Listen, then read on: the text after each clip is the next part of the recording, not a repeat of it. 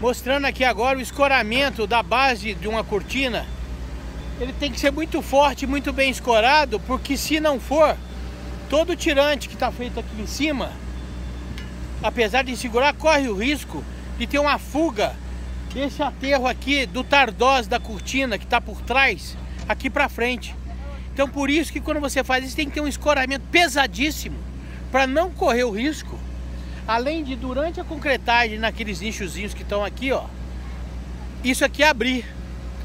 Então isso aqui é utilizado até da cura inicial do concreto e você fazer a pré-fixação dos tirantes nessa parede.